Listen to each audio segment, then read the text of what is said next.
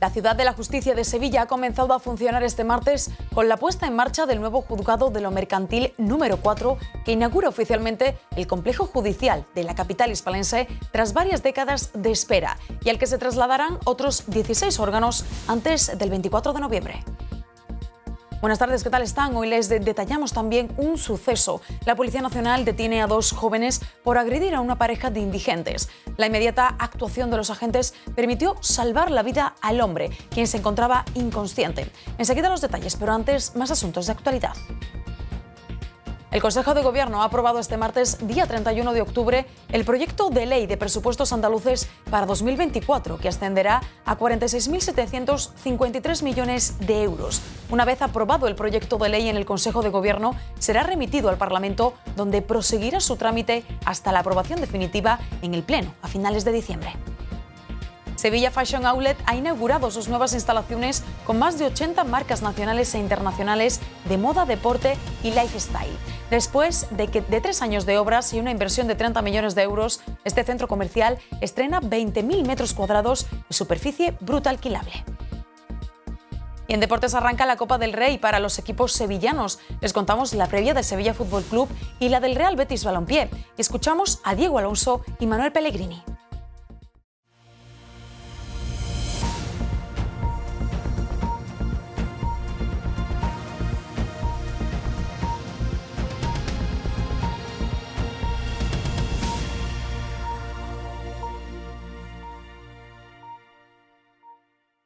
La ciudad de la justicia de Sevilla ha comenzado a funcionar este martes con la puesta en marcha del nuevo juzgado de lo mercantil número 4, que inaugura oficialmente el complejo judicial de la capital hispalense tras varias décadas de espera y al que se trasladarán otros 16 órganos antes del 24 de noviembre. El inmueble está completamente habilitado para que durante el mes de noviembre, según el calendario solicitado por los jueces y magistrados, se trasladen al mismo los otros tres juzgados de lo mercantil de la capital y los otros 13 de lo contencioso administrativo.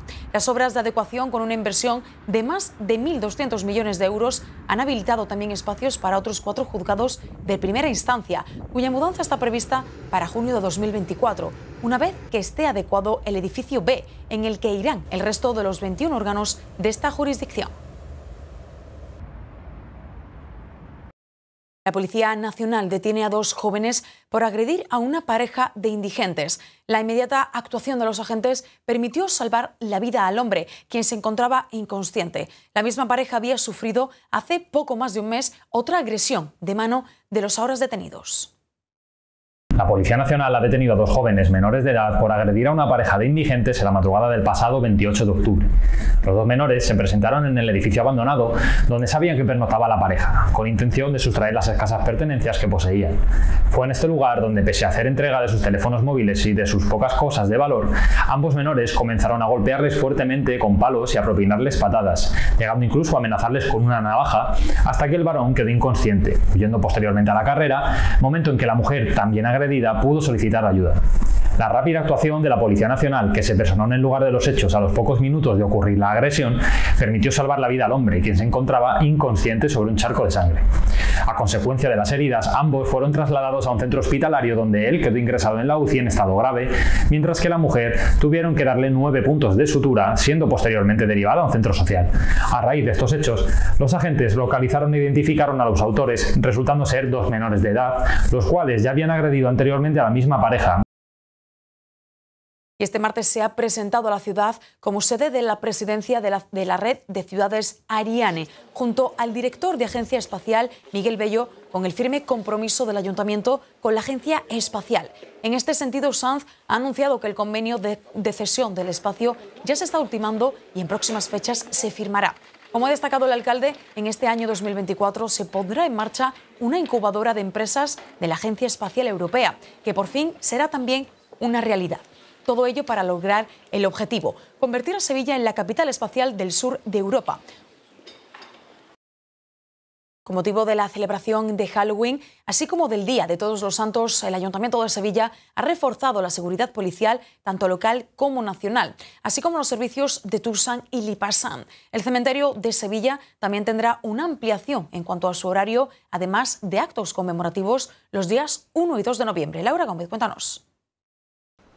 Ya quedan pocas horas para la noche de Halloween y Sevilla se prepara para ello. La policía local y nacional desplegarán esta noche 31 y la madrugada del 1 de noviembre un dispositivo especial de prevención al objeto de impedir altercados como los acontecidos el año pasado. Es por ello que el alcalde de Sevilla, José Luis Sanz, manifestaba que la policía local contará con unos 150 agentes y la nacional con 112 efectivos. Por otro lado, el Ayuntamiento de Sevilla ha ampliado durante los días 30 y 31 de octubre, junto al 1 de noviembre, el horario de acceso y salida al cementerio de San Fernando, permaneciendo abierta su puerta principal desde las 8 de la mañana hasta las 6 y media de la tarde y la entrada de San Jerónimo hasta las 6 de la tarde. De cara al Día de Todos los Santos, el Ayuntamiento de Sevilla ha establecido un servicio especial de TUSAM al cementerio, reforzando la línea 10 y activando el mismo día festivo un servicio de lanzadera entre Ponce de León y el Camposanto de San Fernando. Por parte del IPASAN, un total de 24 trabajadores y 8 vehículos actuarán para mantener limpio el entorno del cementerio el 1 de noviembre y los días anteriores y posteriores. Respecto a los actos conmemorativos a las 10 y media de la mañana, la Banda Sinfónica Municipal de Sevilla ofrecerá un concierto extraordinario en la Rotonda del Cristo de las Mieles y el 2 de noviembre a las 9 de la mañana el arzobispo de Sevilla, José Ángel Saiz Meneses, oficiará una misa en la Rotonda del Cristo de las Mieles con motivo de la celebración del Día de los Fieles Difuntos. Gracias, Laura. Y el Consejo de Gobierno de la Junta de Andalucía ha aprobado este martes el proyecto de ley de presupuestos andaluces para 2024, que ascenderá a 46.753 millones de euros. El 30,5% del presupuesto global irá destinado a sanidad. Las cuentas para el próximo año crecerán en casi 1.200 millones de euros respecto a las del presente ejercicio una vez aprobado el proyecto de ley en el Consejo de Gobierno, es remitido al Parlamento donde proseguirá su trámite hasta la aprobación definitiva en el Pleno a finales de diciembre. El presidente de la Junta, Juanma Moreno, ha confirmado que se trata de los presupuestos más altos de la historia de la comunidad. Del total de 46.753 millones de euros, habrá una subida del 5,5% del gasto no financiero, lo que permitirá más inversiones para reforzar los servicios públicos y para apoyar la iniciativa económica. Asimismo, la partida para la sanidad pública representará el 30,5% del presupuesto. De esta forma, la consejera de Economía, Hacienda y Fondos Europeos, Carolina España, hacía entrega formal de los presupuestos para 2024 este martes al presidente del Parlamento, Jesús Aguirre. Tras esto, las comparecencias de los consejeros para informar de los presupuestos de sus respectivos departamentos se producirán los días 7, 8 y 9 de noviembre, mientras que el debate de totalidad del proyecto de ley será el día 15. El debate final del proyecto de ley ante el Pleno de la Cámara se desarrollará los días 20 y 21 de diciembre. El Palacio de Congresos y Exposiciones de Sevilla acoge este martes la primera jornada internacional Sevilla City One, que cuenta con la participación de importantes expertos nacionales e internacionales para analizar la proyección de la ciudad como destino de inversión en el sur de Europa y para la que se han superado las 600 inscripciones de asistencia. Esta iniciativa público-privada nació hace un año con el impulso de hasta ocho compañías, con el apoyo sectorial de la Asociación de Constructores y Promotores de Sevilla, GAESCO, y la colaboración de las administraciones públicas, el Ayuntamiento de Sevilla y la Junta de Andalucía. Además, cuenta con el respaldo de más de 1.800 personas a nivel particular. Para visibilizar a Sevilla como destino importante, fundamental para la inversión privada, tanto nacional como internacional. Y objetivos estos que estoy convencido que comparten todos los municipios que nos rodean.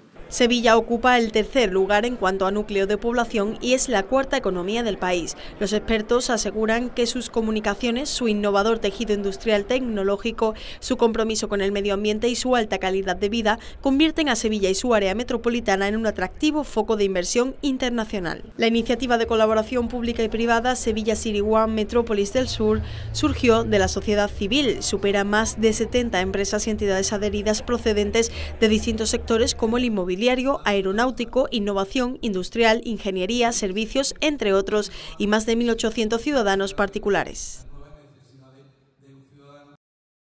Sevilla Fashion Outlet ha inaugurado sus nuevas instalaciones con más de 80 marcas nacionales e internacionales de moda, deporte y lifestyle. Después de tres años de obras y una inversión de 30 millones de euros, este centro comercial estrena 20.000 metros cuadrados de superficie bruta alquilable. Alejandro Ovir ha estado en la inauguración el destino de moda que eleva la experiencia de comprar en Sevilla. Así presenta Sevilla Fashion Outlet sus nuevas instalaciones, convirtiéndose en el primer destino de moda premium de Andalucía Occidental. El centro comercial cuenta ya con más de 80 primeras marcas nacionales e internacionales de moda, deporte y lifestyle, además de una representación del textil moda andaluz y nuevas propuestas de restauración. Tres años de obras y una inversión de 30 millones de euros son el resultado de esta ampliación del famoso outlet que se encuentra junto al aeropuerto. La multinacional Vía Outlet se estrena 20.000 metros cuadrados de superficie bruta alquilable con 1.500 plazas de aparcamiento. El centro comercial acoge además la principal estación de supercargadores de vehículos eléctricos de la provincia. Siguiendo la línea de la movilidad, el centro cuenta con varias frecuencias diarias de un servicio de lanzadera en autobús desde el casco urbano de Sevilla. Se han incorporado además protocolos de hospitalidad cinco estrellas con el objetivo de atraer al cliente turístico y de alto poder adquisitivo, ofreciéndole incluso hasta personal shopper. Con todas estas novedades se inaugura esta nueva versión de Fashion Outlet que desde primera hora de la mañana ha llenado sus pasillos. Bueno, en Sevilla Fashion tienes eh, marcas que llevamos encontrando desde hace mucho tiempo, como pueden ser las tiendas de Scalpers, de Escota, eh, bueno, Álvaro Moreno, que son marcas eh, locales, casi diríamos andaluzas, y luego tienes marcas como Nike, que llevan, bueno, que son una representación de, de, lo que es Sevilla Fashion desde hace muchísimos años y eh, pues te puedes encontrar marcas como Polo Ralph Lauren, que también es muy representativa, eh, Michael Kors y las nuevas incorporaciones que, que, hemos eh, metido en la ampliación que son pues Under Armour, Columbia, Hackett y bueno, yo creo que la gran protagonista que, es Karl Lagerfeld, que es bueno, un, indiscutible de la moda actual.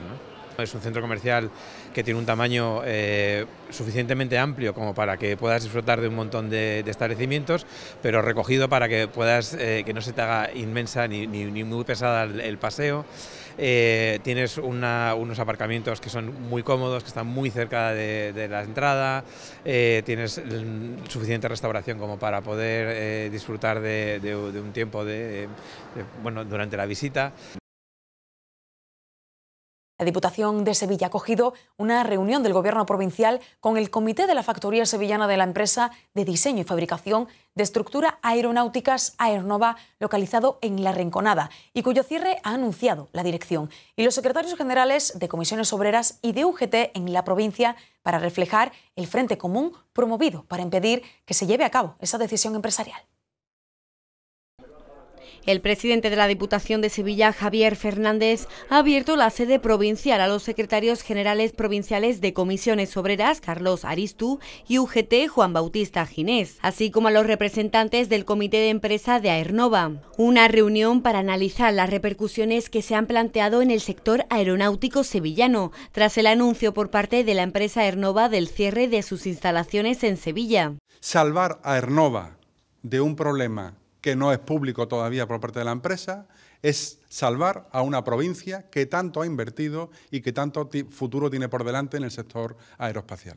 Vamos a acudir a la Junta y vamos a pedir que aquí se mueve todo el mundo.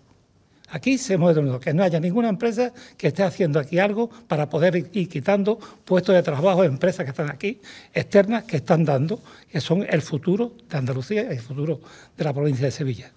El presidente ha asegurado que trabajarán conjuntamente a base de mociones y con la intención de mostrar a la opinión pública dicha situación, sumando sectores empresariales sevillanos a través de CES y FEDEME. Van a tener esta casa, van a tener pues todo el apoyo y todo el respaldo institucional y vamos a intentar que a este frente institucional y sindical se sume, como decía, no solamente la Junta de Andalucía, sino que también los empresarios sevillanos, los sectores empresariales de Sevilla, FEDEME, la SED, también se sumen a esta mesa para defender todos juntos la importancia del sector para Sevilla.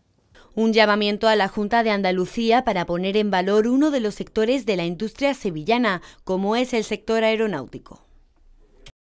El Servicio de Asistencia a Víctimas en Andalucía, SABA, ha impartido el curso Asistencia a las Víctimas y Violencia de Género en el Instituto Andaluz de Administración Pública. Se trata de un curso formativo que guía a los profesionales en su modo de actuar en el ámbito de la justicia para respaldar a las víctimas de violencia de género. El Instituto Andaluz de Administración Pública ha contado esta semana con el curso de formación Asistencia a las Víctimas y Violencia de Género. Se trata de una iniciativa del SABA para guiar en cómo actuar ante los diferentes perfiles de víctimas de violencia de género.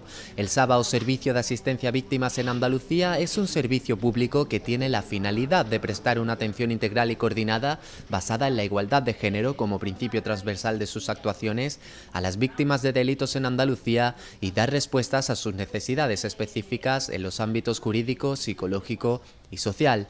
El Servicio de Asistencia a Víctimas en Andalucía se configura como un servicio de carácter público de ámbito andaluz, universal y gratuito.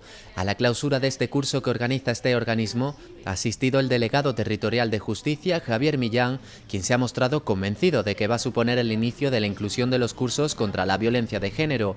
La coordinadora del SABA en Sevilla, Sandra Millán, ha dirigido este curso y ha recalcado en todo momento que es importante que se establezca un vínculo de cooperación entre todos los profesionales que aborden el problema, ya que el objetivo es el mismo para todos, la reparación del daño de la víctima y que ésta se sienta segura, apoyada y escuchada. Con motivo del Día Mundial de la Diabetes, la Asociación ANADIS ha celebrado por primera vez la carrera solidaria por la diabetes, una carrera de 5 kilómetros que todos los públicos donde los fondos recaudados serán destinados a la investigación de esta enfermedad. La Asociación ANADI celebra por primera vez la primera carrera solidaria por la diabetes en Sevilla, el próximo 11 de noviembre en el recinto del Parque del Alamillo a las 10 de la mañana. Con un recorrido de 5 kilómetros, la carrera solidaria tiene un doble objetivo. En primer lugar, mantener un ambiente saludable y fomentar la práctica del ejercicio físico entre los participantes con y sin diabetes. Por otra parte, concienciar a la sociedad sobre la diabetes y sus tipos, y, bueno, estar con ellos, apoyarlos, explicarles y decirles que al principio se hace un mundo, pero que después se normaliza. Este acto se realiza en conmemoración del Día Mundial de la Diabetes, siendo el 14 de noviembre. El lema era educar para proteger el futuro. Es importante, cuando hablamos de salud, hablamos de enfermedad, siempre nos enfocamos en el tratamiento de la enfermedad, pero hay una, hay una base que es la prevención que es donde tenemos que trabajar de cara al futuro. Me he encontrado con familias de nuevo diagnóstico, pues eh, con miedo, eh, eh, a dónde voy, dónde empiezo, cómo, cómo, hago el tema de la alimentación, deporte, cómo. Entonces, bueno, asociaciones como esta pues prestan una ayuda para que no estés solo y, y no encontrarte tan, tan perdido. Los fondos recaudados en la carrera irán destinados por una parte a la asociación para seguir realizando actividades y por otra será donada a la investigación de la cura de la diabetes, en concreto a la Fundación Diabetes Cero. Y como cada día les dejamos ahora con la actualidad deportiva de la ciudad de la mano de Fran Campos.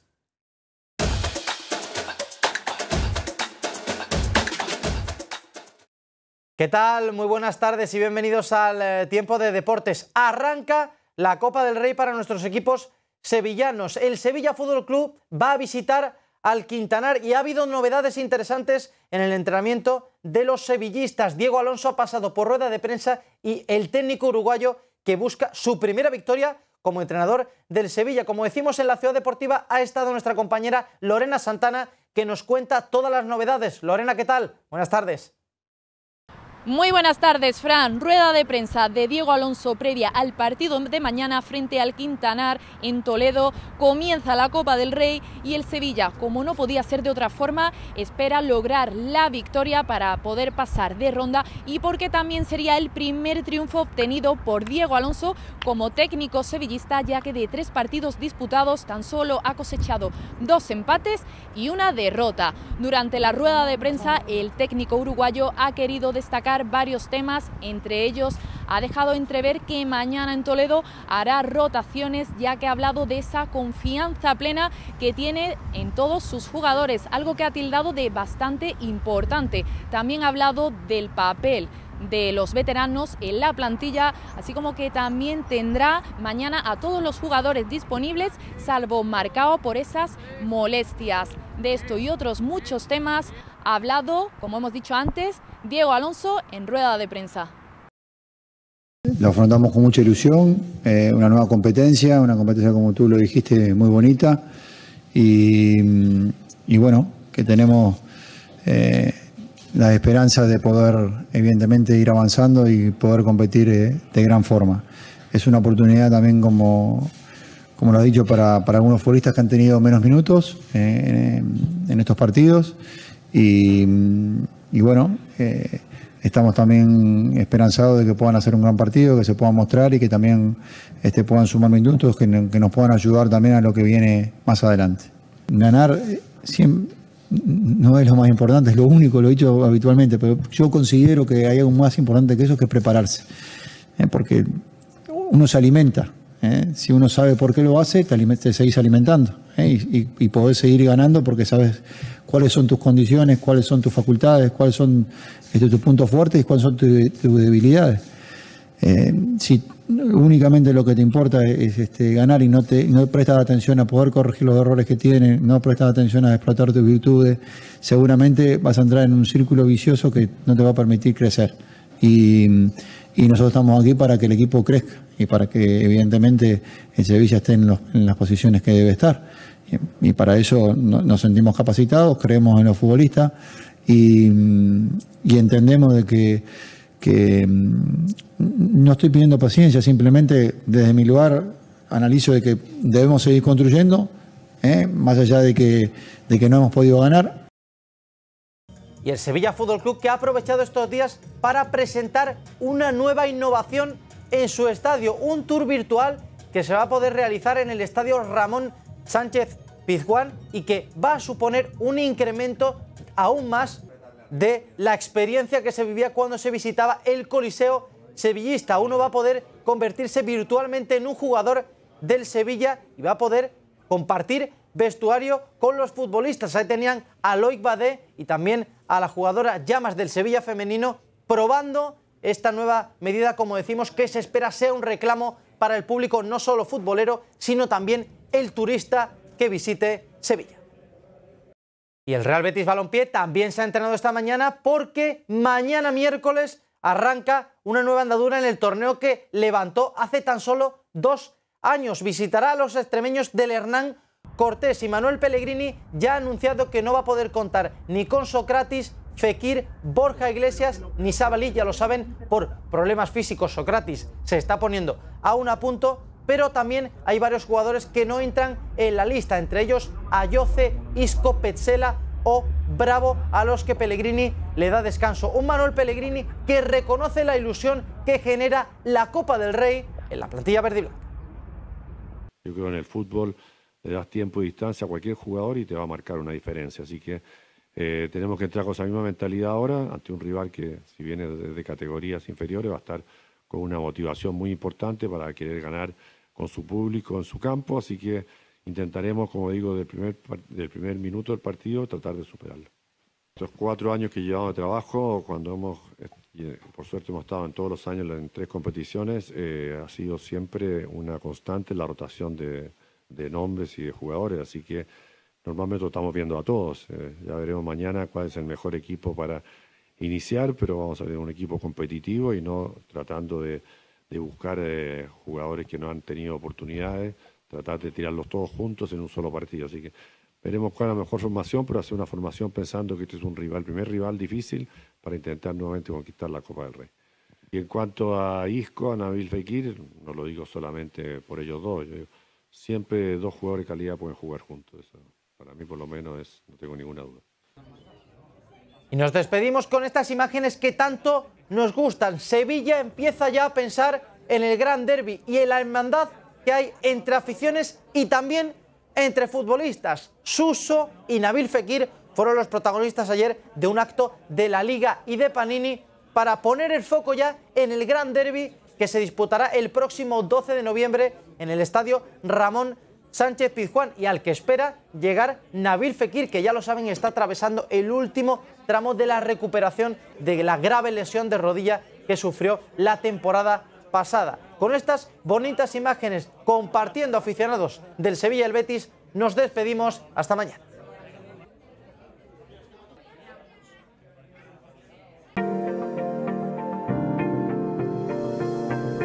Lipasam patrocina El Tiempo.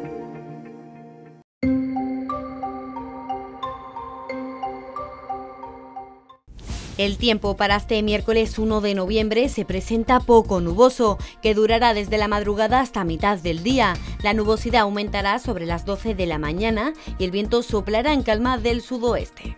La temperatura máxima aumentará en Sevilla hasta alcanzar los 22 grados y los valores mínimos rondarán los 10. Hola. Hola, ha llegado el catálogo. Mira qué sofá, cariño, es perfecto. ¿Y qué precio? ¿Decidido? Sabemos qué anuncios ves cuando te gusta un mueble. Cuando deje de gustarte, llama al 955 010 010 o envíanos un WhatsApp al 628 783 494 y te lo recogemos gratis. Lipasam, Ayuntamiento de Sevilla. Esta noche se celebra Halloween o la Noche de las Brujas, una popular celebración en Estados Unidos que en la actualidad tiene un gran impacto en muchas culturas más allá del mundo angl- anglosajón. Disfraces, el famoso truco o trato y numerosas fiestas temáticas se unen a las celebraciones tradicionales de las vísperas del Día de Todos los Santos, como ir al cementerio a visitar a los difuntos. Otros prefieren pasar la noche o la jornada viendo películas de miedo. Muchos planes para hacer, pero en Sevilla uno de los más destacados es pasar la noche de Halloween en Isla Mágica, con este terrorífico pasaje del terror. Disfruten de esta noche, pero siempre con precaución.